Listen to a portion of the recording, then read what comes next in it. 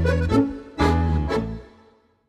连假第二天，现在呢是午餐时间，不知道大家吃饱了没有？不过呢，我们发现牧场这边呢，有人也是肚子饿了。来看到我这边呢，可爱的这个小山羊哦，他们呢，大家通通都把脖子给伸长，几乎呢要把这个头呢都伸出栏杆了，来很热情的吃这个红萝卜。因为呢，大家呢可能都已经是遇到午餐时间，大家都饿了，而且呢感觉上超热情的，这个大人小孩呢也都玩得不亦乐乎。而另外一边呢，这个。战况同样很激烈哦，五只小小猪呢，一口气的往前冲，一关通过一关，带大家来看到他们小猪比赛的精彩画面。好了，第三关呢是考验这个小猪的后腿肌壮度。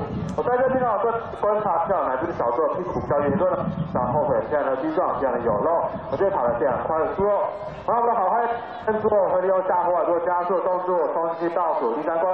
不过呢，大家可不要小看这个小猪比赛哦，因为呢，其实他们通过这个重重的障碍，可是考验小猪们的体力哦。光是像这个独木桥啊，或者是这个上下坡道呢，都要考验小猪的体力以及后腿的能力哦。所以呢，代表说呢，这些小猪们们呢，也是同样受到很好的照顾。在牧场这边呢，动物都相当的健康，而民众呢，大家也都替自己心目中的这个小猪呢来加油，现场相当的热闹。